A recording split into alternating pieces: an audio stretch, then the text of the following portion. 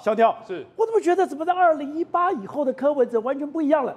二零一四年到二零一八年，大家觉得还是陆力从公，他演讲他非常的勤勉，非常认真，每上每天早上七点半。怎么到了二零一八年，他还开始把他旁边的人全部赶走了？赶走了以后，他每个脑满脑袋里面都是钱。对，从今天这个买商办这件事情就可以看得出来哦。也就是说，你看他今天公布了那个买商办的这个所谓的这个呃，应该是四千三百万，对，那个价金履约保证专户的那个明细嘛，吼，你看它里面大概公布了三笔这个所谓的从意银然后和库亨付方的这个所谓的汇款，那我就觉得很好奇啦，你明明就是可以用汇的，啊，对啊，对啊，你明明就是可以用银行汇的啊，为什么你现在在使用金钱的习惯，你还是需要每一笔一笔这样现金提领出来，而且再刚刚讲到存进去，每笔汇的都是陈佩琪汇的哦，是去谈是陈佩琪谈的，是去谈这个是每一次每一笔每一次处理的，全部都是陈佩琪处理的，对。所以同一个陈佩琪拿着两张，一张存，被一张提，一张存一个是哎大笔的钱，我还是可以用汇款的啊、对啊，这个老实讲，这个代表说他其实对于汇款这件事情没有毛病嘛。对你说买房子这件事情，他就可以用汇的嘛。那我们其实都没有跟你计较说，因为现在他公布了只有所谓的这个这个相关的这个明细嘛，只有所谓的进就是进嘛，资金进的部部分，但是出的那一端我们不知道，我们只知道是一间所谓的意淫的账户、和对富的账户、富邦的账户，但到底这是不是跟陈佩琪的账户有直接的相关联？对，然后以及说也就这是三个账户的名字到底是谁的？对，现在看起来他所谓的他是用陈佩琪的名义去买，然后登记在柯文哲的名下嘛。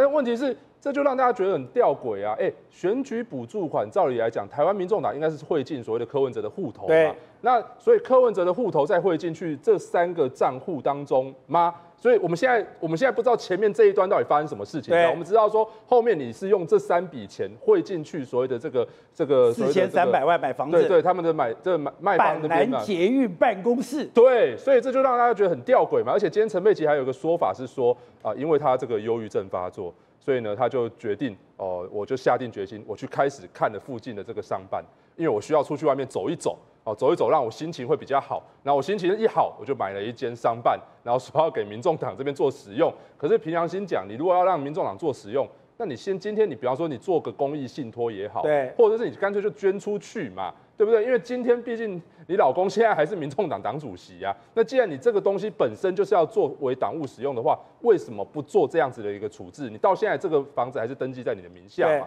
你还是舍不得处理，而且他今天还有一个非常怪之处，哎，他说你说我有六百一十九，就像刚刚思聪讲的，我有个大水库，我这几年来我今天提了有总共有一千多万，可是不对啊，这跟你二零一八年不是讲说你不是入不敷出吗？你入不敷出，怎么又多了两百多万了是嘞？这个老实讲，这个有点像是木可假账的一个二点零的版呐、你就让他们现在看起来很多这个金流，比方说像之前讲到一百七十万跟四百多万这个金流，他们解释不清楚，他们就跟你弄一条大条的哦，就像当时他跟你讲说，哎、这个假账其实不只有所谓的尼奥跟石勒那对两笔呀、总共是一千八百万这么多啊，我们对这么多就让你目不暇给嘛，根本不知道到底要怎么去抓哪一条嘛。那所以今天我觉得我就抓到一条蛮特别的，就是因为我二零一八年我就我是天字第一号竞选办公室员工，你知道吗？所以我非常清楚二零一八年他那个时候发生的事情嘛。那个时候柯文哲当时他就是抵押那个房子，用那个他的房子抵押两千万整数哦哦，而且那那我记得那个时候还是还是我们跟柯文哲一起去银行去办这个抵押的这个业务，所以我们非常清楚知道说他用那栋房子借了多少钱出来选举，总共就是两千万嘛。那他的选举补助款总共是一千七百多万，因为他总共只拿五十八万票啊。对因为一开始当然我们那时候原原先设想可能有六十万票以上，所以可以正好就是可以压 cover 住他这个所谓的贷款过来的这个亏损嘛。但从所谓的选举补助款一千七百万，再扣掉所谓的这个他贷款出来的这概两千万，所以一般来说应该是倒亏了将近两百七十万左右啊。那你如果好，你如果说把那个所谓的一开始的那个选举要交的那个保证金再算进去，那柯文哲那时候说法是说他倒赔六十万。哦，但其实平常心讲，保证金你没办法直接算在收入啊，那那个不是额外的收入，那是本来就是从你里面支出出来，那回归到你本来的那个户头里面嘛，所以应该照理来讲是倒亏大概两百七十万元左右。可是今天陈佩琪跟你说的是，他选举补助款一千七百多万，扣掉当时抵押房贷的钱，他是直接这样讲哦，就是直接选举补助款扣掉房贷，总共结余两百三十万元。刚好颠倒过来，颠倒过来，哎，原本是倒亏大概两百七十万，现在是倒赚两百三十万，所以总共将近五百多万的，这又是一个五百多万的一个差距啊！而且刚刚讲到这几次，哎，柯文哲自己讲选举补助不够抵房贷，对，这个就是因为我们都非常清楚嘛，他当时真的就是借两千万整数，而且。这个东西当时还在监察院的这个相关的这个申报当中有出现嘛？二零一九年的五月九号，监察院当时的申报，柯文哲的存款有两千四百四十六万元，有价证券三百零万零八万元，以及两千万元的债务。什么是两千万元债务？就是那个房贷嘛。所以房贷就是两千万整啊，那我就不懂这个数学，我其实怎么减都觉得很奇怪。今天陈佩琪在讲的时候，我看到这一条，我就觉得，哎，跟我当时认知到的好像有点落差嘛。当时明明就是入不敷出嘛，怎么现在突然又多了这一笔结余款两百三十万？那所以这又是来回又是一个五百万的差距，所以。我我真的是奉劝啊，下一次如果要开记者会，先来问我们这些以前的幕僚，先把这个金流先兜清楚，你知道，不要今天又自己制造了另外一个麻烦，明天又要再回应一次，这个到底五百万的差距是怎么来的？现在听起来消息什么？现在沈庆金以及柯文哲两个都不招，两个不招完全符合囚徒理论里面的最大利益，就是两个人不招，两个人不招会让他两个的罪行减到最轻。是，可是说这个理论。原来柯文哲现在流传，这柯文哲早就已经谈过了，就这个画面，而且这个影片就是你拍的。对，我们也不知道说他五年前就精准预言了今天的命运。哦，今天就是他就是陷进了一个囚徒理论的一个困境。他谈过囚徒理论。对，那而且是两个都不可以招。对，现在看起来他就是在执行，他里面讲到所谓的强大的沟通力嘛。什么叫强大的沟通力？就是当时这个裁定书，如果大家有看的话，他早就已经跟沈庆金在那边进进出出。了嘛？哦，就是进出跟沈庆金会面好几次的过程当中，我认为在减掉约谈之前，他们早就已经达成这样的共识。对，因为为什么？对沈庆金来讲不招，当然对他未来这个所谓的金华广场的开发案绝对是有利的嘛。因为金华广场开发案现在已经执行到一半了，只差一年半就盖好了。你如果现在招，你如果认罪的话，哇，现在台北市议员磨刀霍霍哦，准备开始要想办尽办法要现在要他停工嘛。对，准备要开始看要怎么样处理后续，包含像。这个多余的这个容积率要怎么买回嘛？他就要吐回去，他就要吐回去了嘛。所以对沈清金来讲，这个部分当然不能招啊。那对柯文哲来讲，他就是知道沈清金不会招，所以他也不会招。那他们现在就是在赌嘛，跟你赌说减掉，因为现在柯文哲就是在赌这两个月时间。对，因为他现在看起来他不提抗告就是两个月，那最多延压在两个月，他就是在跟你赌。这段时间你减掉，绝对查不出来我的金流。他这么有把握？到今天为止，其实现在我们看到所有的，就是我们现在台面上看到这些东西，都是减掉要侦办的方向嘛。他还没有一个确切的所谓一刀毙命的证据说。所以说柯文哲现在在跟减掉在赌，他就是在赌。而且这场在整个沈沈庆金进去之前，哎，人都已经进去了，居然发了一个公开声明说。这个他绝对不送贿，而且柯文哲也是一个不收贿的人。那柯文哲更妙，他今天不是剪掉冲到他家里面吗？已经叫他上车不上车，而且我一定要交代清楚，说我绝对没有收贿。这就是两个人最后的确认，隔空串供。对，这就是在执行强大的沟通力啊！而且你知道这个强大沟通力一直延续到他们那个小草集会上面也是一样嘛？你看小草集会他们整个集会上面播的那个影片。就是根本就是微金集团的宣传片嘛，哦，在告诉你说金华广场哦卡了三十年，对，是我柯文哲一手把它就是把它解决这个过去的这什么历史工业，对，哦，所以根本就是在从那个时间点，他们还是在找队友嘛，找什么队友？找微金集团当他的队友，对，我们绝对不能招。在这两个月的期间之内，我们只要能够撑过去，那当然头过身就过嘛。因为现在看起来他就是赌这两个月，你找不到金流。这是柯文哲的个性吗？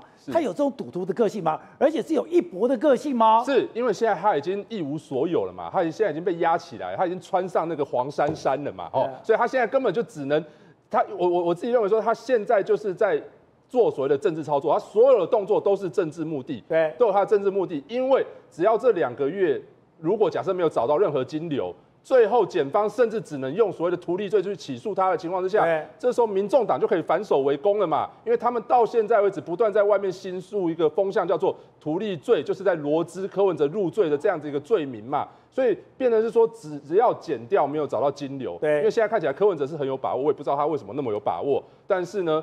只要他没有办法减掉，在这两个月时间之内没有办法勾勒出一个很明确的一个证据，那当然对柯文哲来讲，这就是一个他转守为攻的一个关键。那你说柯文哲很喜欢这种奇门八卦？哎，照理讲你是台大医生，你是等于说学这个正统医学的，可他学对这个奇门遁甲这种所谓奇奇怪怪的东西，他非常有兴趣。柯文哲，我我常笑说，他有的时候他他他说他看很多书啊，但我花我我笑说他其实花比较多时间在看 YouTube 啦 YouTube YouTube 影片嘛，YouTube 影片常常都会有一些什么 AI 配音的那种什么拜官野史。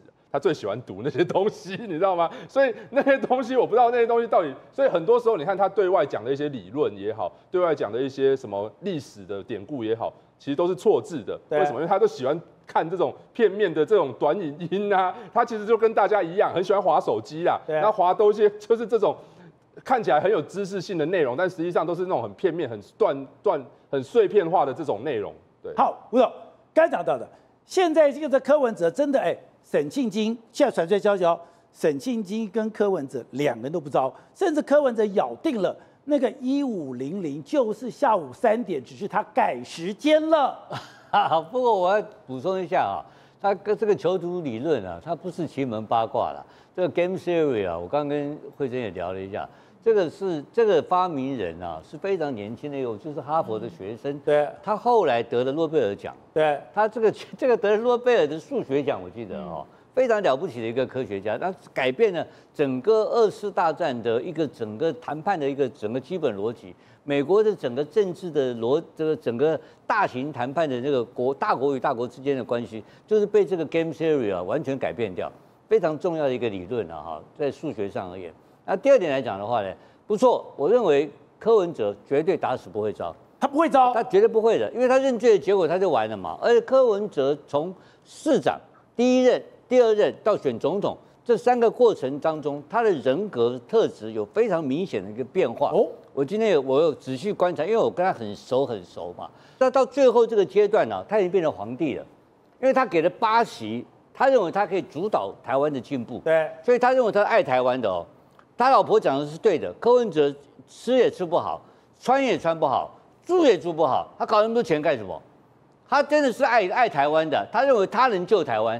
他是活在，你搞那么多钱干什么？他救台湾，救台湾。他认为他能够领导台湾。他生活在自己一个非常狭小的一个环境当中，所以其实柯文哲不怕坐牢，哎，因为他本来就跟人家不，他的他的生活领域是非常狭小，他跟别人不沟通的嘛，所以现在他关在里面，其实这个环境对他是不是一个不是陌生环境哦。他是很奇怪，他不会像别人那么痛苦啊。那么一般人去坐牢，如果因为你有社交关系嘛，柯文哲不要社交关系，他不要社交，他不需要啊。你所以柯文有个心理科医生讲的话很对的，柯文哲不是不理人，他是理不了人，他没有办法处理他的道德的边界，他是没有边界的。就我要讲柯文哲，所以他绝对不会招，而且他有崇高的理想，到后面他真的已经变成雍正了，你知道吗？那至于说另外一面来看的话呢？我们要谈到小沈，小沈会不会招？小沈原则上也不会招，但是在面临到一个非常痛苦的一个抉择。什么痛苦抉择？什么抉择？他这个东西，小沈面临到两亿的款项不翼而飞的这个结果。这个两亿的款项，我常讲，我讲过，我这几天就讲个概念，因为别人对小沈不熟，我很熟。他不是一个有钱的人，然后去贿赂。一般贿赂的人，一般是一般的这个贪官。会跟有钱的财团合作，对，所以财团有很多方面可以给他钱，给他好处，前金安后谢等等。但可但小沈没有，小沈每一笔钱要贿赂的钱，都必须要从公司掏空，从公司搬钱出来。对，所以其实苏慧讲的对的，他有一个前金的东西，其实可以去查，因为我不相信柯文哲没有收到前金，就一直等到拿到建造再付款，对，这个不可能。他柯文哲这个人务实的不得了，他不相信人的。所以小沈一定有给有一个钱金，所以钱金的部分很可能就是现金的部分，很可能是今天简年去充那个保管箱的东西，那个都是两三千万就是个钱金。你看郑文灿搞一个一百亿的利益，五百万，五百万钱金而已，那几个 key m o j i 哎，那个是一个等于大家一个默契，对，交朋友，对，交朋友。所以呢，可是后面那个两亿是叫做重大金融犯罪，那个的，我认为我简简单一点，我帮他算了一下。他如果不认这个这个，他不能够从这个案子里面脱身出来，得到检方的豁免的话，他就要单独去扛下来，他去公司挪用了两亿的款项的问题，这个钱去哪里了？他个人吞掉了嘛？对，个人吞掉坐牢坐十年。可他如果说把这样是他的选项，他如果去咬柯文哲的话，一天都不要坐牢，对零，他通通都可以解套。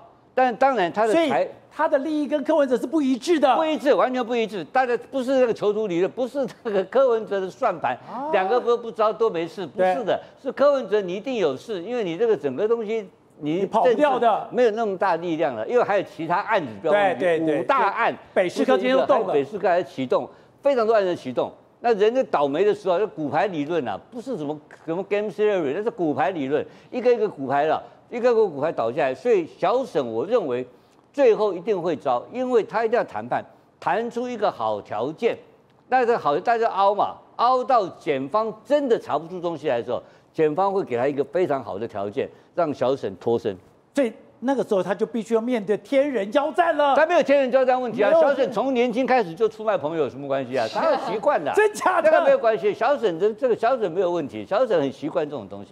好，诸位，该讲的，现在这个东西，你说你其实有悲观，是因为你说在整个微金集团里面有很多海外公司，现在查金流才是最后的对决关键。我一直觉得金流是非常难处理的哈，因为金流你一定要进到，不管是银行体系，又或者是加密货币，你一定要进到那个系统里面才有流嘛，哦，那你才有迹可循。可是我们就说了嘛，哈，最传统的行贿跟收贿方法就是直接给你 cash，你只要 cash 还没有存进去某一个地方，对，其实就很难抓嘛。我就说嘛，今天这两个保险箱到底是陈佩琪主动交代的，还是这个检察官经过锲而不舍，终于发现两个？你想想看，从陈佩琪上个礼拜到廉政署去，看起来不是他交代，如果看起来他交代，早就去取取出来了。经过到现在这么多天，才找到两个保险箱、哎，茫茫的银行里面有那么多银行，有那么多保险箱，陈佩琪的名字、柯文哲的名字、他们家亲戚的名字，或是 anyway 谁的名字，或者我是沈静静，我叫一个第三人去开一个名字，然后把钥匙给他，你根本就找不到。再加上我们之前说的，如果直接给你一箱又一箱的现金放在某一个房子里面，你也找不到。所以我觉得这不是找哪一个金流专家来办，因为他可能就在这个城市的某一个角落，就像大家一直在找那个日本当年的那些黄金到底在哪里，是到现在都没找到一样，只有当事人知道。所以我觉得金流是痛是难找。第二个，我觉得民众党最近的这个新闻跟媒体操作相当成功，尤其是陈佩琪今天的专访，坦白说，我看了以后。我都要相信了啊，然后我都会觉得他好辛苦、好可怜哦。他其实花了非常大的篇幅，不是在讲自己家里的钱，而是在讲他公公的身体，他小孩子的可怜等等的。其实对对善良的台湾人来说哦，其实是是会打动的哦。所以再加上就他们最近一直哦拉着国民党在打这个。司法的问题啊，泄密的问题，那当然北检自己也是不自爱啦哈，一直要去跟特定媒体这样放放放放哈，所以让他们找到突破点哈。那我刚刚广告时间，我就在跟宇轩说，所以为什么要羁押呢？人在里面，其他人都可以全挡在那边哦，开始在那边排演这些这些，还要去烤肉。对，然后那如果人出来的话，那那不是就大家更是一场又一场的这个戏跟媒体的操作吗？哈。所以我觉得最近哈，这个大家对北检哈开始有一些质疑的声音了，确实会让北检很辛苦啊。我最我今天就有点感同身受，因为现在民众党也在全党打我一个，我就说哇，办北办那个柯文哲的压力好大哦，办那个政党哈的党主席全党护一人哦。大家想想看，下一个会期啊，法务部还要面临啊，他们现在民众党开记者会啊，要看你这个薪这个预算，我要看你那个预算，你要给我这样给我那样哦。所以我觉得，呃，如果北检再不加把劲的话，哈，可能图利罪那一方面可能要要加紧它的速度哦。所以大家看到最近北检在加速的约谈，属于公务机关这边的人证。我今天早上去地检署，因为中公告我嘛，所以去地检署这个去厘清这个案情的时候，刚好林周我走的时候，林周明哦，前都发局长迎面而来哦。那我就跟他讲说嗨，路人甲，然后他也他也他也跟我打招呼哈。我觉得不管是林周明也好，林清荣也好，过去的卸任的跟现在的现任的，都可以证明一件事情，他们不断不断的在阻止柯文哲市长，不断不断在当刹车皮，也就是金华城的容积率不能超过五百六。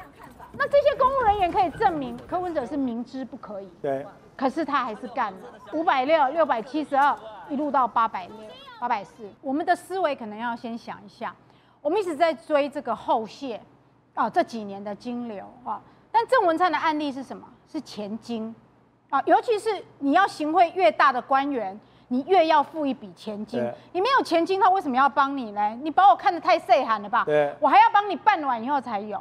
于是我跟刚刚小牛一样哈，去比对二零一八年、二零一九年哈柯文哲的财产申报、选举补助款，还有选举政治现金账户哦，我发现大概有上千万的这个这个财产是都不拢的哈。我举例来说啊。柯文哲他当年啊，他二零一八年的时候，他的财产申报里面还有债务两千万，对，三笔啊，分成五百、五百、一千，跟第一银行借的。但是在第二年的申报哈，二零一九年的申报的时候，这一笔钱已经不见了啊，一百零九年的申报这笔钱已经不见了，不见了。他当时的解释是说，我用一千七百多万的选票补助款。加上我自己自身的存款两百多万，凑成两千万去还。对。但是今天陈佩琪的话不是这样说的了。我多了两百多万。对，不是。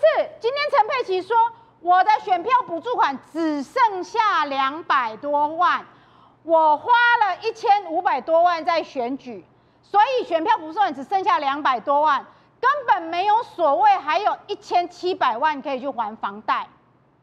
大家有听懂了吗？所以他的选票补助款不是剩一千七百万哦。根据陈佩琪今天最新说法，二零一八年他的选票补助款只剩下两百多万。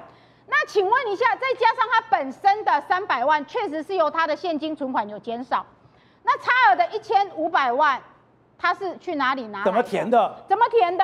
好了，再加上那一年二零一八年他台北市长的政治现金账户的结余是负一千一百万。请问一下。你募的款不够你去选举，你的一千一百万是从哪里拿拿出来的？大家都只看到账面说哦，负一千一百万，好啦，哎，这不是只是账面数字哎，你是要拿口袋的钱出来付的哎，你不是写一个付一千多万就好了耶？就像我们现在木可，你说你剩六千万，你银行账户也有六千万嘛？你当年付一千一百万，你也要拿一千一百万出来付嘛？好，所以大家知道了哈，他当年。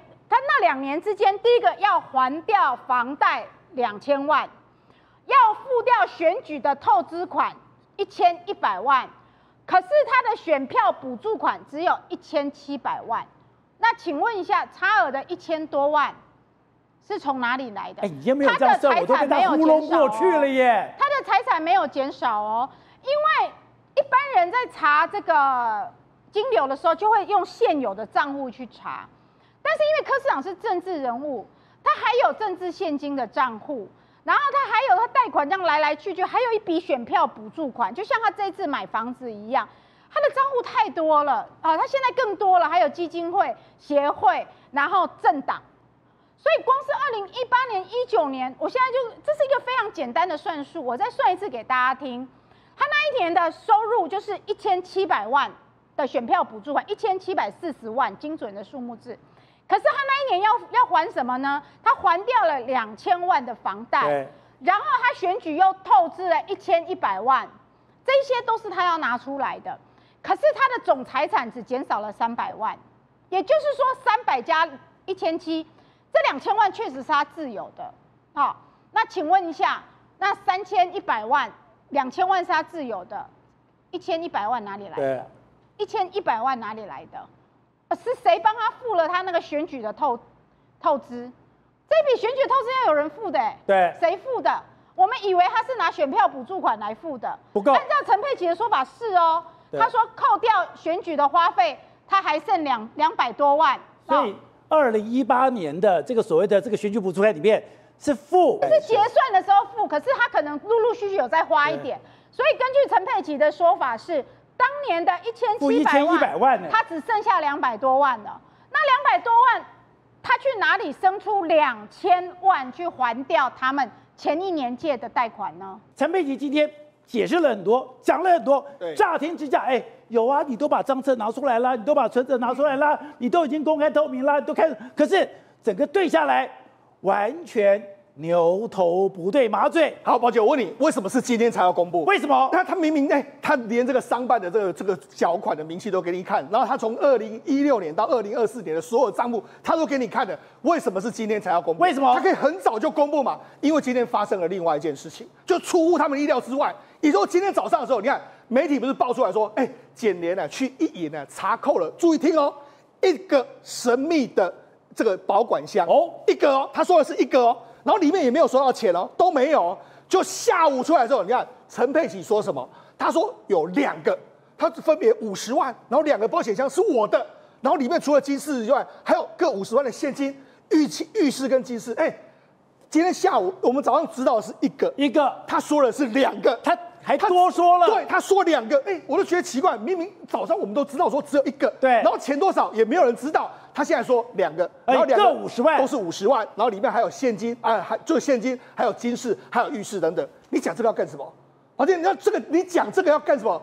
你讲这，哎，人家说一个，你说两个。你说的更清楚，那为什么要这个？所以我们今天都被他带去了，带去哪里？哎，我们家那个六百一十九万，这分十年到十年，一年一百万啦，一年一个月一两次也不为过啦。而且我就是拿了两张，大家把焦点放在这里，或者焦点放在那个四千两百万。你说那个根本不是今天陈佩琪要出来开记者会的关键。陈佩琪今天要开记者会，一个最大的关键就是他要讲清楚这个保险箱。对。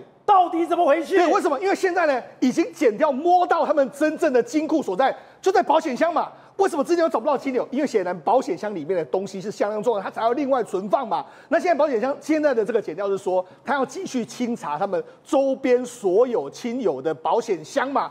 所以他讲，哎，那已经被查了，那当然要先讲嘛。所以他现在就直接跟你讲，我们，我再我再说一次，早上是说一个，他现在说是两两个，所以你们觉得这就很怪异吗？而且后来传说说当中有一百万，他不是不是一百万，是两个五十万。对，那他就说啊，是因为我的先生是市长，说我这个这个工作不稳定，然后需要所谓的不时之需。然后他说什么？简年带我去开保险箱的时候，特别交代我不可以跟人家说，然后去登上媒体的这个版面。好，宝杰，那他一直在讲，显然他非常重视这件事情。对，所以你看他这样讲的话是什么意思呢？是。不是要打个 pass 给什么人知道？所以我们外行人看热闹，外行人在乎的是说，哎，你都把账簿拿出来了，你都把存折拿出来了，你都把金流交代出来了。对，结果那个东西是障眼法。对，这才是重点，因为这才是最新发生的事情。哦最新发生的事情里面来说，有人不知道。所以我要赶快把它讲出来的一个状况，那就是这样的一个情形。好，所以我我就讲，这可能是一个我们接下来可以说寻的线索，就是显然保险箱里面来说，是不是找到了什么？然后他们非常的惊讶，说那赶快要打这个 pass 的这个状况。而且是说，你为什么这样判断？是因为你看了陈媒体所有的讲话里面，你说哎，好像我今天非常坦白啊，我们今天家里面就是总共有五大金流，五大金流里面总共是一六二八，一六二八里面的六百一十九。根本不是什么不明财产，那我都已经跟检察官讲了，检察官都不相信的。可是你说仔细去爬书，对，你说根本不是这么回事。是，在一六二八。跟那六一九根本是两回事。对，第一个他要这个可能要打 pass 给不知道说有这个哎这个保险箱被查到的人说之外，第二件事是什么？因为目前为止来说，减掉是步步紧逼。现在不是有传言说可能不排除要传唤他们的子女，就是他们都可能涉嫌到洗钱罪啊。那怎么办呢？哎，这是他们最后的心防啊。如果我我觉得父母亲都是这个样子，不希望儿子女儿被卷入这件事。那假设真的这样发生下去怎么办？所以他就要设一个断点，就是说，哎，他今天出来说明了另外一个重点，就是说。啊，我这个钱都是金金白白的钱啊，对不对？我这个有一千六百二十八万的这个五大笔的这个金流，你说有六百一十九万的我在疑似洗钱，我说没有，因为我有一千六百二十八万。那一千六百二十八万是分几个部分，包括说他妈妈的钱啊，然后这个陈佩琪的工作的钱啊，柯文哲的钱，还有他的结余啊，还有医生的说的这个柯文哲医生的钱啊，然后另外还有包括说他的演讲费等等一大堆，加起来上是一千六百二十八万。你说我六百一十九万很正常吧？我这个。我都有一千六百多万了，你给我计较那一六百一十九？我不是不是来财权财产来源不明啊。可是问题是，宝洁，这问题就在这个地方。减掉所有的财产来源不明来说话，一定就是他已经扣掉了你这些疑似是你正常的所得，你可以缴，你有这个所谓薪资的证明，然后你通告也有这个证明单，然后你要上什么书的讲书也有版权的费用，什么都有。所以这一定就是减掉，一定都是把这些扣掉，不是用说，哎，你有这个收入进来，它就是不不明的这个财产，不是嘛？所以显然。减掉说的是另外别的钱，不是这些钱。但他现在就跟你说，反正我有一千六百二十八万啊，这个六百一十九万那是很正常的一件事情啊。另外一个他还说第二件事是什么？他说：“哎，媒体说什么？我六十次，拿六十次来说的话，这个去存了这个钱，那这样子啊啊，好像在洗钱。”他说：“没有啊，我六年六十次，一年十次，这个不不不会很奇怪吧？”然后他跟你这样讲哦，他就说：“你时间你给我说清楚。”问题是，宝杰，他这就是开始在糊弄其实，为什么？因为检，因为我目前得到讯息是两个时间点，是二零二零年的三月，它有二十次；另外是二零二三年的这个九月以后开始，它有四十次，是这两个是六十次。他现在跟你说六年六十次，有什么好奇怪？把你拆开来，所以他现在跟你跟你糊弄，跟你打模糊仗。六年六十次，一年十次，又很奇怪吗？所以他用这样的方式，所以这是二零二零年那几个月里面有二十次，二零二三年的几个月里面是四十次。那他现在跟你说，哎，六年六十次有什么好奇怪？就用这样来跟你讲。所以来说，他今天这样讲法，而且那宝姐，他现在公布很多证证明嘛，对不对？他今天有公布一个，包括说像他们买商办的这个证明书，都都都给你这个跟你讲说啊，我们这绝对没有这个财财产来源不明的这个状况，用这样子用一个，我就讲这个这个吴董不是说过吗？你公布资料的时候要有几分真几分假，用这个真的商办来掩盖我这些所谓其他账户的糊弄的地方。反正你看，哎，我商办买是真的啊，但其他这些东西，哎，其实并因为为什么？因为商办现在很可以确定，这些真的是从他们的这个金目前为止的金流是从他们竞选账户，就这很正常，所以他公布部分真。那我这是假的东西，你你敢怀疑我是假的吗？不是，就我觉得这一张最妙，这个是我的薪资转账户，薪资转账。我说，哎，我这几年我也做了，我也存了很多钱啊，有五百多万啊，五百多万里面刚刚讲的这个钱我都把它提出来，没有哦，你自己弄出来是，哎，你每个月刚刚讲的二这个这个所谓的这个是二三三月了几几月的吧？你就是提三万三万三万的，哎，你不是全部提出来啊？对啊，所以你就知道，事实上这整个金流来说，你们到目前为止很多疑点，宝姐你是说完全说不清楚的。另外是什么？好像他今天如果如何他们今天讲的，他们说，哎，现在保险箱是这个这个柯文哲开始当市长的时候开始弄了两个保险箱，那这两个保险箱呢，我就讲嘛，我们去查他这个去年竞总统竞选的时候。他也没有申报过所谓保这个保险箱，也没有申报不过里面的这个现金，因为他说是用现金各五十万，现金一百万，你也没有申报过啊。然后你说里面有一些金饰跟玉饰，你也从来没申报过啊。所以你看。你看好了，你你好了，你顶多说我这个财产来源不明嘛？你说我没有申报，确实嘛？他现在就用这种方式开始，反正他就是找那种这个几分真几分假的讯息告诉你，那完全让你就是好一直在打迷糊仗。反正我们现在都已经被他搞得非常的混乱，对你也不知道什么是真的，什么是假的，是我都不知道了。但是真正的讯息是什么？A 这个所谓保险箱被人家破了是真。那有两个，那请你记住，这两个个别都是五十万，五十万是我的，然后里面有金饰，那里面有相相关的玉饰，这都是我的一个状况。而且你讲说，陈佩琪里面常讲的，哎，他有些东西会藏在一些小地方，这个小地方其实是非常有意思的，哎，他讲说，哎，我还有一些小账户的体力，对，代表。你的账户到底有多少？对，没错。他他就说，因为主席现在没有办法写那么多的委托书，那我一时也没办法记得那么去，也没有空。那我像这个金额也不是只有看到了这个样子，所以呢，所以可能也不是只有目前我们看的这个样子，还有后话。对啊，所以你看，他就是把目前他留个尾巴。对，刚才讲的，我现在都已经公布了，可是公布了以后，哎，他又留了一个尾巴，就是说。太四海，我们还有一些小账户的提领呢。那因为主席没有写那么多的委托书吧，我一时也不能记得很清楚，也没有空。如果是小账户，你有什么好提的？对，小账户就钱很少啊，小账户钱很少，就根本不值得一提啊。那如果不值一提，你干嘛讲？哎，这句话很重要。所以这个金额不至于到只有这个样子。对啊，所以你看，事实显然不是只有他讲的那些嘛，他让你知道一百一千六百二十八万是我目前为止可以正正当当说明清楚的这些金点。至于。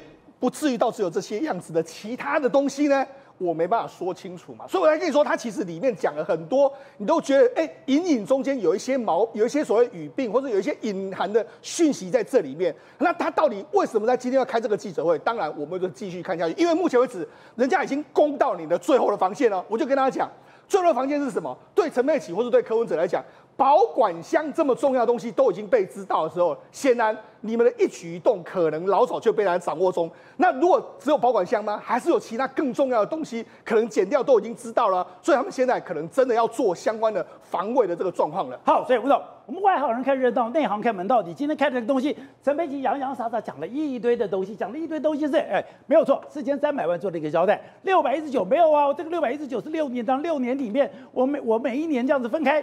不会很奇怪啊，然后细节就不讲了，因为旁边有人跟他打 pass，打 pass 以后六百一十九就停住了，停住了以后就不断的交代说，我这中间有个大水库，中间有一千六百多万，各六百一十九万，根本不足为奇。可以说那都是障眼法，都是障眼法。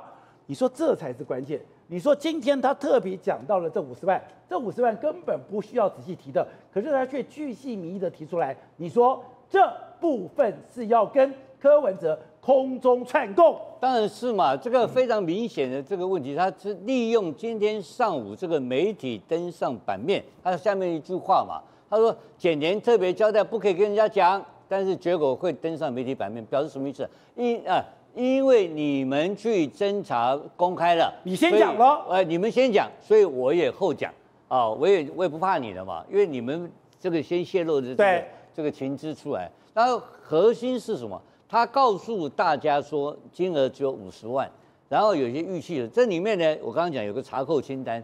他并没有把查扣清单拿给大家看，对他拿给大家看就知道嘛，大概你扣了什么东西。哦，那扣这里面有就有他要公开讲完之后，他的律师在律见的时候就可以告诉他了，律师就没有穿过问题因为这是公开资料，公开资讯啊！我告诉你，你里面只剩五十万，那这个代表什么意思呢？只有科批知道什么意思，因为我讲很简单啊，绝对不可能这个保管箱只放五十万。任何的贪官要藏钱，那个保管箱藏的钱都以千万为单位。阿扁以前藏多少钱？十三亿，不最早十三亿，最高十三亿耶。所以保管箱藏的钱一定是超过一个相当的，不会是五十万这个金额。所以我们假设好了，科比被收押进监的时候，科比的认知里面，保管箱可能是里面是一千万，你他后中间就提掉了，因为今天已经过了两个礼拜、三个礼拜、两个礼拜了吧。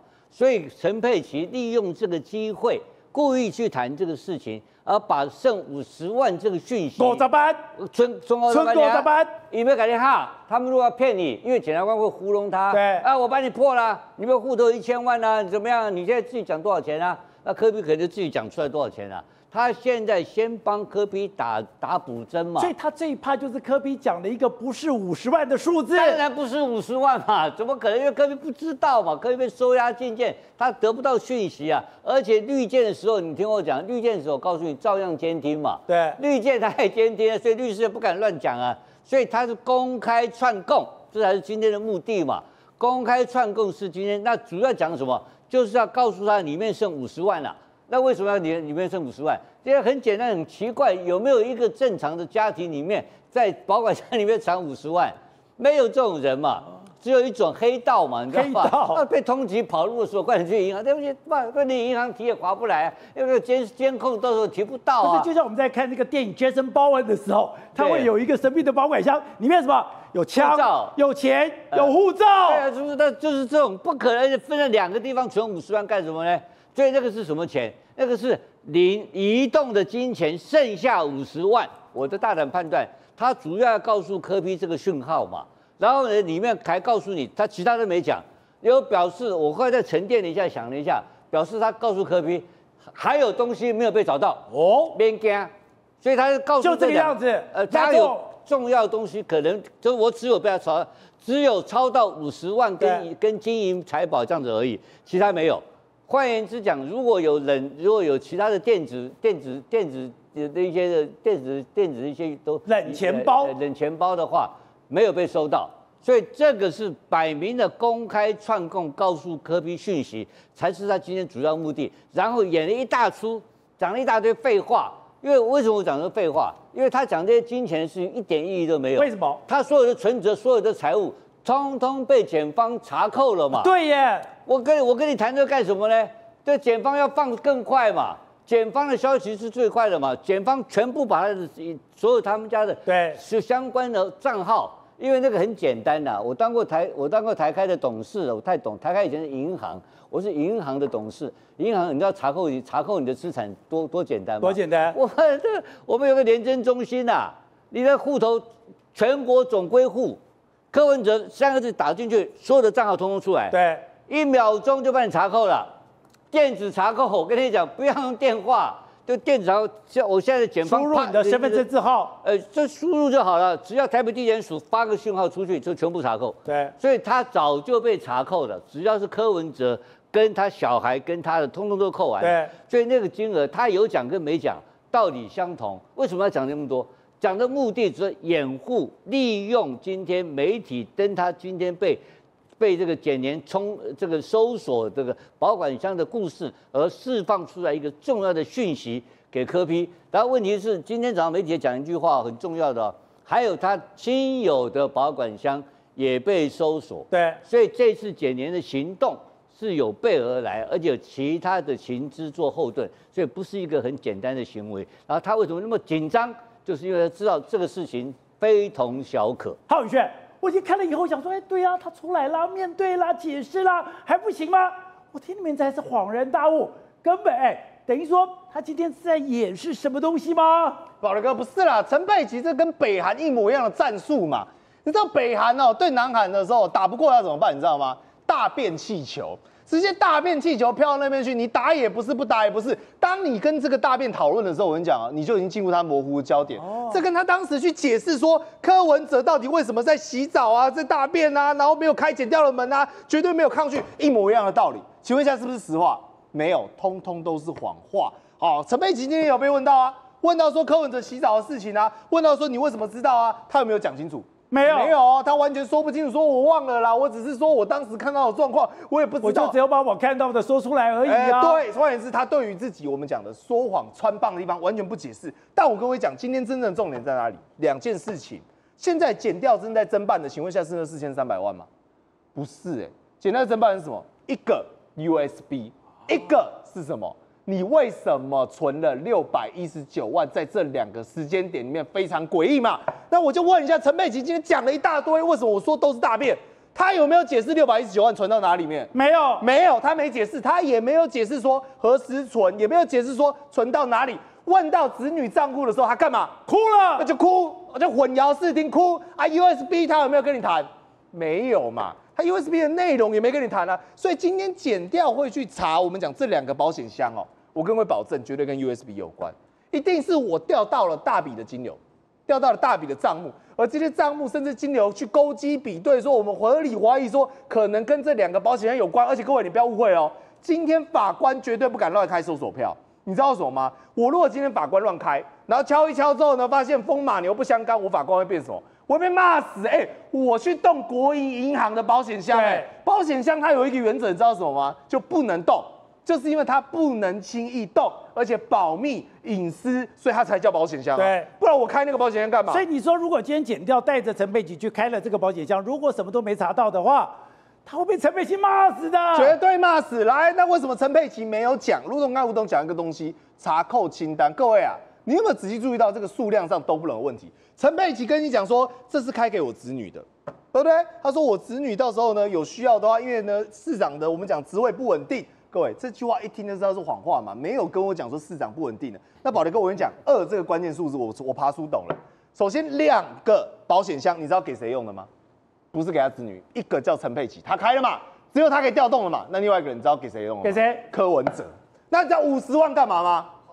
交通费，招老用 A 啦。所以我跟各位保证啊，里面什么浴室啊，五十万啊，那个都不是重点。检方是不是有扣到东西？我讲一定扣到那个才是跑路要带真正大条哎，那个五十万只是小条的，因为今天检方哦，我们讲到底有没有查到冷钱包，我们打上一个问号哦，因为有媒体现在已经出来说，好像疑似有查到类似的东西哦。那在第二件事情，检方今天有调了几个人，一个叫端木正。就是说，我今天我已经确认了，我得到了全新案情关于金流的突破。我把你端木正找来，因为你是会计，所以很显然柯文哲的这个金流跟他的竞选总统专户跟他的木可公司这三者是息息相关的哦。他确认了这件事情哦，就保留你知道，调柯文哲来问一五零零 USB 的时候，你知道柯文哲讲什么吗？我非常满意这个答案。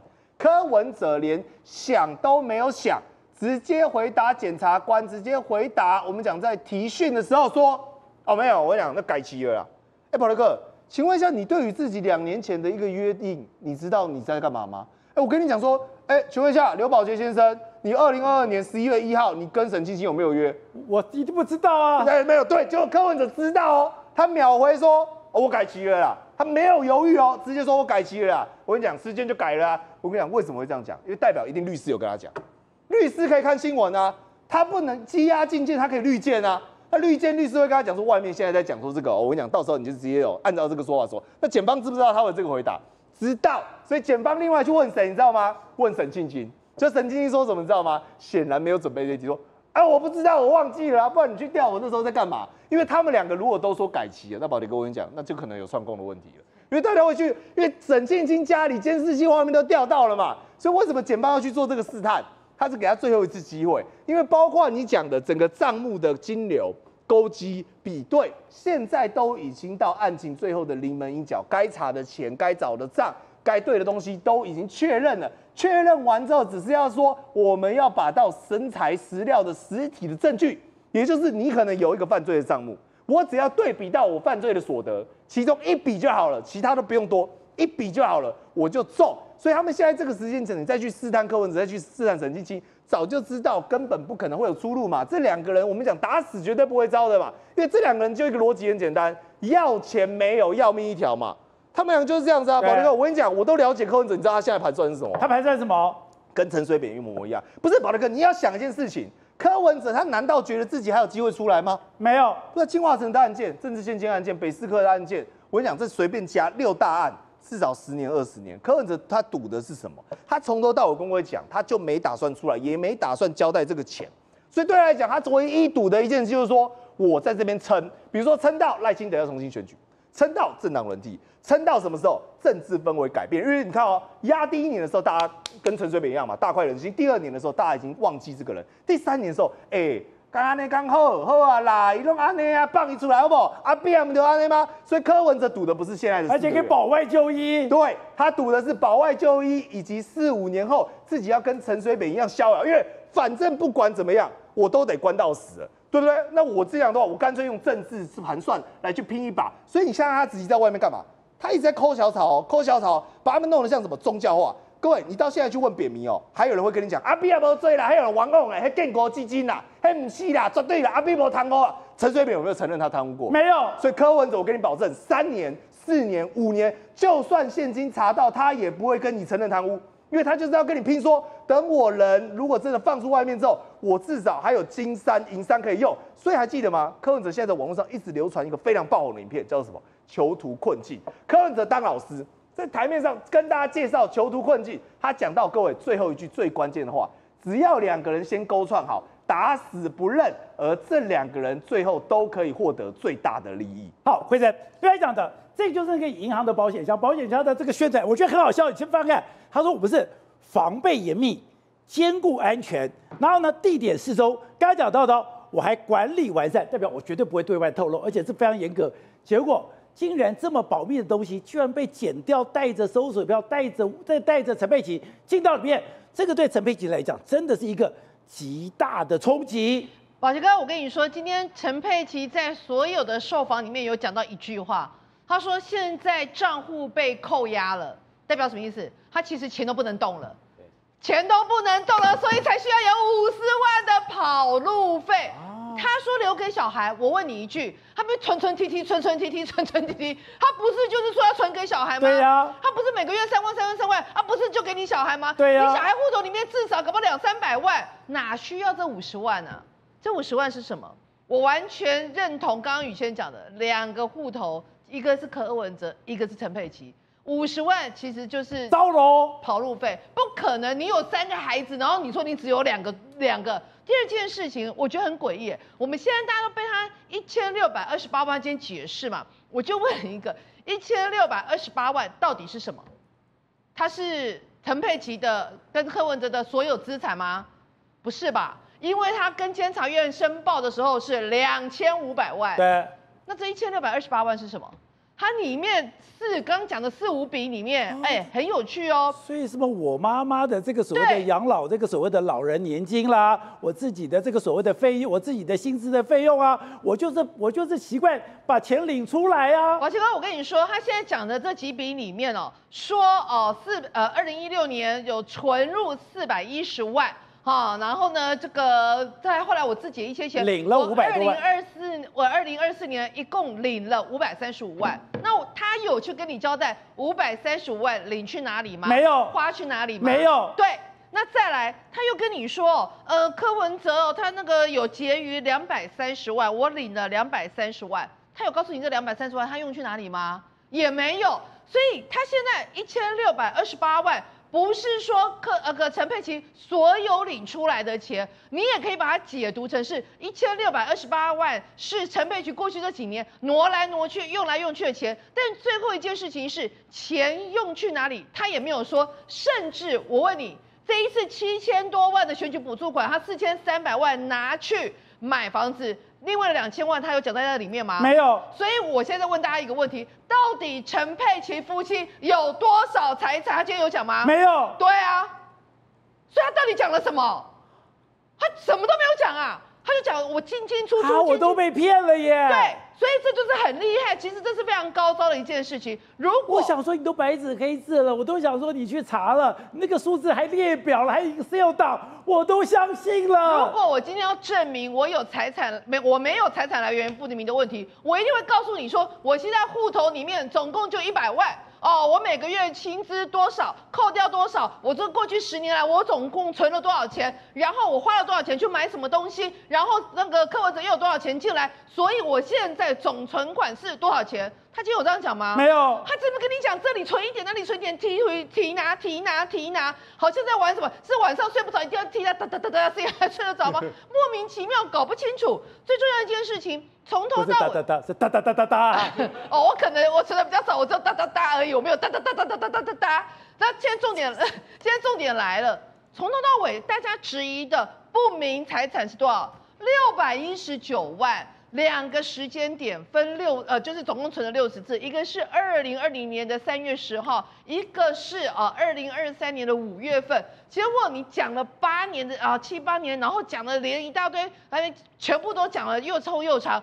最重要一件事情，你根本没有交代，六百一十九万，哎，你当时为什么存？第二件事情，请问你们家财产到底有多少？然后第三件事情，我就到现在我还是要再问那一个，你都已经拿了四千三百万元的现金去买了房子，那你现在看起来你户头里面也大概只有几千万，为什么你七月还有那个底气去看一点二亿跟二点七亿的房子？那些钱现在藏在哪里？不懂。像我们在外行人来讲，看到哎。陈佩琪感觉上，你现在把陈佩琪的名字给丢出来，把陈佩琪说他今天透过了六十次存 ATM，把这个存了六百一十九万，而且不但存在自己的户头，还存在自己的小孩的户头。我们都以为说是对陈佩琪施压，你说不是？这个是对柯文哲施压。你说现在减掉到了最后一里路，这个最后一里路就只有两个关键人物，一个就是柯文哲，一个就是沈晶晶。现在谁能够突破这个案子就破了，因为你。陈佩琪啊，这段时间有两次的公开讲话，一次在群贤楼的小草面前讲话，一次好像在北检的这个门口讲过一次话。那这两次的讲话内容都谈到案情本身啊。那如果我是承办检察官的话，我会非常火大，因为我我已经征询过你啊，对啊，正常不公开，你跑去外面讲话，那你讲的话就等于攻击北检，对，他就等于讲反话嘛。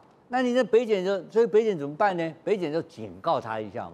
北港北检会丢这个什么六百一十九万，丢这种金额出来，然后告诉你说你搞了六十次去提款，这是干什么？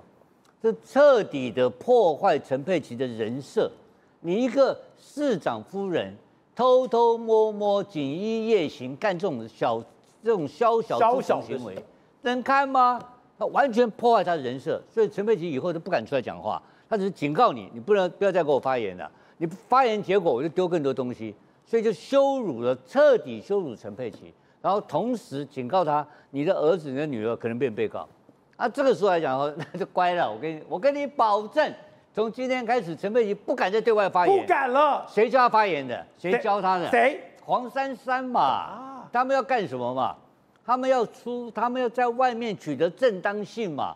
柯文哲是被迫害，柯文哲是无辜的。那柯文哲如果是迫害是无辜的话，那加施害者施暴者是谁呢？施暴者不是被北检了吗？那被政府迫害啊，对不对？所以他等于黄珊珊等于叫陈佩琪公然说谎攻击台北地检署嘛？那这个你是北检检察官，你能够忍耐吗？当然不能忍耐。对陈佩琪提出的最严重的警告，然后尤其提到他的小孩是第一点，然后整个侦办的主线。我认为还是在这个呃柯文哲跟沈晶晶身上。对，我怎么判断你知道吗？我今天看那个新闻，哎，怎么搞的？他就传林清龙来作证。找林清荣是不对吗？林清龙有什么意义呢？没有吗？林清龙就是那个你谈找林清龙只有一个目的，图利他在巩固他的图利部分嘛。，对，你认为他还需要巩固图利吗？不用了耶。早就不用了嘛。所以这是什么招？这乐色时间嘛，虚招嘛，拖时间，拖时间嘛，这叫什么？压人取功。他因为你柯文哲不可能招嘛，对，会招的人只有有关的后续有突破的话，只有三个人：柯文哲、沈建金、易小易小薇。好，所以你我一看，哎，你搞林林清龙来，那是虚招玩假的那是玩假的嘛，因为他不能没有没有办案，然后他把柯比调出来问一下，把你放回去了。他有真的问什么东西吗？没有也不柯批不会讲嘛，对不对？他柯批根本不，他根本放弃柯比嘛，他把所有的证据都巩固完之后，他告诉你说柯文哲是这个嘛。对，那是什么东西嘛？那就很简单嘛，那就是小沈的交付款项的时间、跟地点、跟金额嘛，对不对？那小沈不可能讲啊。那好，那怎么弄呢？他找应小薇干什么？应小薇有一个角色，就是一千五百万的角色。对，应小薇必须要去咬小沈，一千一千五百万给谁？你知不知道？一千五百万，我的理解，我因为我对他们都是好朋友，我理解他们的关系。应小薇是把那一千五百万重新拿回去给小沈了，哦，是给沈晶晶本人重新洗一遍。重新洗一遍。所以我告诉你，那就这个问题来了哦。这样讲，四千七百万里面说有一千五百万不清楚的，这一千五百万其实是应小薇重新又拿回给沈晶晶了。对，给沈晶晶了，应该所以那这个事情，沈海湾当然知道嘛，因为所以才要把运小薇找，运小薇不可能去咬沈庆军嘛，对，他是他的这个铁哥们嘛，对不对？但如果应小薇受不了咬下去的话呢，他会给应小薇自首自白豁免嘛，对，豁免的话可以减刑二分之一嘛。那如果咬一口咬下去的话，那小沈就惨了，你知道吧？为什么惨呢？小沈目前跟这案子没有关系，跟贪污案一点关系都没有哦。他他犯什么罪？他只有他只有公司法的罪名啊。可是如果他回头拿了一小一千五百万一千五百万的话，那他那个汇款到他手上了嘛？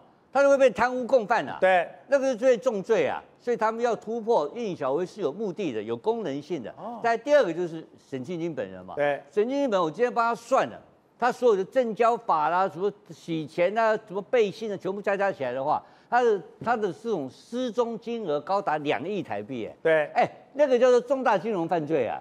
我我我我在上市公司当董监事、当董事长很多年了，对。这个搞下去，我告诉你，十年，我告诉你。至少十年。最少是如果是两家以上公司的话，一定十年，因为一罪一罚。对，目前就是两亿多来源不明嘛，两亿多来源不明，扣掉我们这个沈董事长喝喝酒啊，去打打牌啊，对不对？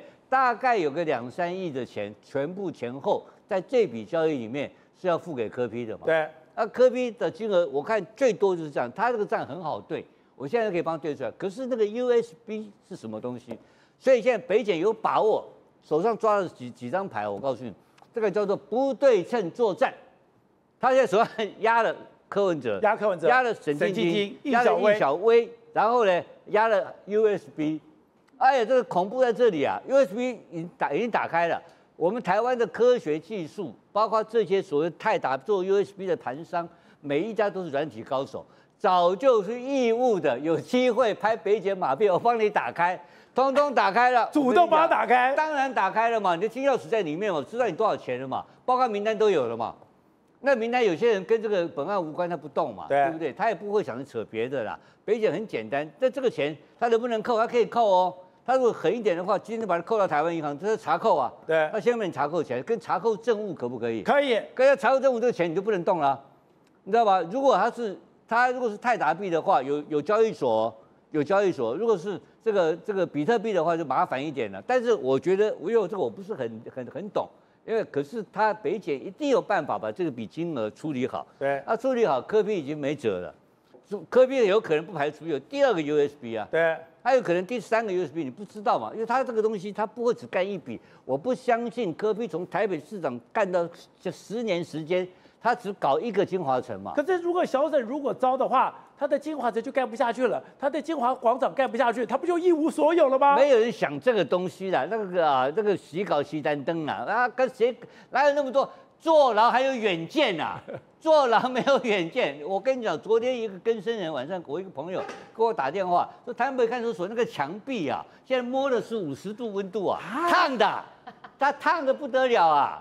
看守所的墙壁是五十度，太阳晒那个是闷的嘛，闷在里面，温度很烫，会发烟的，热到发烟的。你看看，你说说不说？你看他出来穿的整整齐齐，对这里面是穿个内裤啊，根本没有办法穿衣服啊。你觉得他们能撑多久？科比没问题，科比本身他他不会认，呃，但是科比本身很有自信嘛，对，他自信到跟这个在直播组里面讲过嘛，很简单，我徒弟有徒弟啊，你把我金牛查出来嘛，那省撑不住吗？他就？跟你呛赌，你金牛查我认了嘛，那现在这就是已经到了金牛在，已经我认为金牛已经在北检手上，只剩最后一个勾兑，这笔钱是沈庆金给你的，那这个两个对齐的话，那这个案子就可以马上完成起诉。那沈基就会招吗？沈庆金，我认为百分之九十九点九九九九会为什上？么？因为他这个这个太痛，五十度温，这个太痛苦了啦。我这个讲简单讲白了好不好？就是压人取供嘛。压人取供这个太这个七十八岁的老头身体健康不好，在里面蹲这个时间啊，大部分我这样讲好了哈、这个吴宗宪检察官跟我吴宗宪立委跟我讲过，以他的经验哈、大概两个礼拜，两个礼拜，通通投降，还没有不投降的，现在才刚刚还柯文哲过去说什么政治人物啊最爱成立基金会，因为这基金会哦都是用来洗钱的，对所以我没有。他讲哦过对，然后又有比如说也没有协会，也没有公司，所以我也是一个干净的政治人物。结果嘞，他当了八年市长，在他最后一任的时候，成立了木可，成立了中旺，成立了新故乡智库，都是第二任你知道吗？柯文哲现在是有三个魔戒，他是三个魔戒带上手，哎，其中木可就是重中之重，因为包含众望基金会，包含这个呃新新故乡智库协会，这两个他都向都需要向社会局去申报，但唯一一个。不用的就是木可，所以昨天慧珍姐踢爆这个众望基金会的这个财报的事情啊，我是不晓得这个众望基金会今天的声明稿是谁帮他发的啦，反正他们发的意思就是说啊，我都唔知呀啦，对啊。这个指出的这个姚慧珍啊自己在做梦啦，所以慧珍姐今天踢爆这一件事情，我觉得也是重中之重，而且她看到的东西跟我那时候在看他们这个政治现金专户的时候，我就已经看到中望基金会的这个账，而且这个账呢，他说今年放在网络上面，二零二四年的是预算，但二零二三年的是已经是决算了、哎，所以你怎么可以说哦哦对哈。是啊，你报的二零二四年的预算表放在上面，对对比的就是二三二零二三年的决算嘛，所以你根本没有搞清楚状况。他那一年募款了一千九百万，对，然后支出这么的多，然后到底支出到哪里去？而且完全没有账。是，而且我告诉你哦，他最重要的重点是说，他在二零二二年成立了众望基金会，对不对？隔一年，二零二三年就有一千九百万的募款，对，怎么那么厉害？卸任市长之后就有这么多的捐款进来，对那这一些的捐款到底是不是有一些，比如说，哎，这个神斗论功行赏的金额，对，哎，不能进去到这个其他的账户，我就进来到众望基金会。那如果是的话，那到底有没有取悦贿选？像这样这样子算不算是这个呃所谓的这个呃利用职务受贿罪？因为他是进到柯文哲的这个呃基金基会里面去，所以我觉得这当然是值得再去问的。因为我们再补充一下，就是十一月一号的时候就出现了那个小省一千五百万，一千五百万以后，十一月二号众望就成立了，是而且众望成立以后，你马上就有一千万的资本额，代表有人就把一千万给存进来了，是啊。而且当年那十一月哦，十一月到了十二月，其实只有两个月哦，你在这个时候又募了一千九百万，是，然后所以你那个时间点就是就是都这么巧嘛，都这么刚刚好嘛。要是黄国昌来讲这个故事，一定讲得非常精彩。我的比卡韩版的博现在也要供，啊，不过我买单讲啊，这都是让人家很迟疑嘛。可是今天今天基金会的说明是什么？是说明啊，我那个呃，民众党说基金会要自己说明，尤其是陈志涵说的。但我要讲一件事情，陈志涵，你知不知道基金会是柯文哲说要成立的？对，而柯文哲成立那一些那个时间点是什么？柯文哲是市长哎、你是市政顾问兼发言人哎、你现在一推二五六，说你完全不知道，可以被接受吗？这是第一点。第二点，刚刚慧珍姐有讲啊，今年八月三十号柯文哲被搜索的时候，进那个台波大楼有没有被搜索？有被搜索。台波大楼被搜索的时候，谁去帮忙开门？徐府徐府去开门，请问徐府是谁？徐府是民众党的党工吧？请问他为什么有众望基金会的钥匙？你是他的枕边人，你们每天晚上睡在一起吧？你不知道他有中央基金会的钥匙吗？你这样说得过去吗？所以我觉得他们现在用一推二五六的方式来回答大家，但我觉得这里面是不是经不起考验？当然经不起考验呐、我再回想一下，之前木可是不是就有很多的员工？对，对不对？我们所知道的，包含呃呃也被被告的木可被告的那个什么何爱婷，还有包含之前有一个去跟那个呃谈合合约的的一个工作同仁，他们两个的薪水都报在哪里？靳总都报在靳总啊。所以基金会的钱是不是有很多也都报在靳总？然后基金会的很多的支出是不是流向也都是木可？我觉得这才是最需要被追踪，而且我觉得民众党绝对不可以说那是基金会的事情，我不知道，我觉得这说不过。而且柯文哲也讲过，我们就是好多个单位，同样都是一批人，这不是我讲的，这是柯文哲讲的嘛？好，伟汉，你现在如果再去看到柯文哲当时讲的话，不是非常讽刺吗？他在接受电视名人堂的时候，他讲说，他最引以为傲的是，我不设基金会，如果我设了，就会有人来捐钱。接下来公正执政会很难。不过当时柯文哲就透露说自己很想做，但是他说那就像魔戒一样，戴上去就拿不掉，这个太讽刺了吧？柯文哲现在又遇到的所有问题，第一个都是在第二任，第二个就是他曾经说过他不要做的坚持，就全部都做了。你现在讲的这是去上一些啊什么台湾名人堂啊，或者是怎么样？宝杰哥，我举一个例子，最多人看的是什么？是一日幕僚系列，那个点阅破千万的。对，他跟台资源讲，那是什么时候？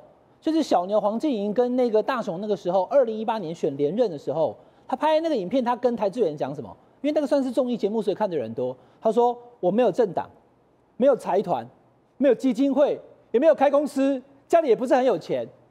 他现在问题，他都有了。对，所以就看起来他为什么现在目前遇到这么多麻烦，我不知道啦。因为中华民国无罪推定嘛，很麻烦，因为后面还有四个案子，光是金华城就很麻烦，就是因为他现在有政党，然后呢，他跟财团至少去唱歌，然后呢，他有基金会，而且还两个，然后也开了木可公司，然后现在家里面也比较有钱了，所以他就是跟他过去所讲的事情，他都不上了。第二个，他刚进入政坛的时候，当时他击败连胜文的时候，大家觉得第一个是民进党帮他，第二个他是素人从政，第三个他说他帮阿扁呃前总统，他说我是墨绿，然后呢他又支持怎么样等等等台大的医师，然后对照说，哎，直接就没有选过议员跟立委就要选市长的连胜文，可是他那个时候确实很多人很喜欢他，非官蓝绿，就说这个人讲话很实在。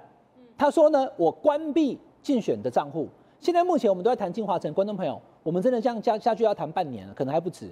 因为政治现金案李文忠已经转被告，而且是对两百万交保了。你的政治现金案里面的那内容，把这个我就这样讲嘛。他选二零一四跟选二零一八的时候，他是要告诉所有的台北市民，我不但提前关闭账户，我还要告诉你所有的每一笔钱捐过来多少钱，然后我花多少钱，是在投票前就已经上网公告。那这一次总统大选有没有上网公告？没有，这次没有哎、这次当然是没有上网公告哎、只有出现这么多的问题，所以他以前讲说魔戒钱就是魔戒，戴上去就拿不下来。那他明明就知道，好，那我两个礼拜前遇到吕副总统，他还讲了一个非常让我也觉得哎、他说当时就是他力荐应该有这些医师陈昭思、柯文哲，呃，去看一下前总统，因为他是他的副总统嘛，啊，必然垮着啦，辛苦啊那对吧？所以呢，医疗小组是他争取的。然后他说，既然他都看过陈水扁前总统，从八年总统到后来遇到这个问题，他亲眼所见，他怎么完全没有避开走上同一条路？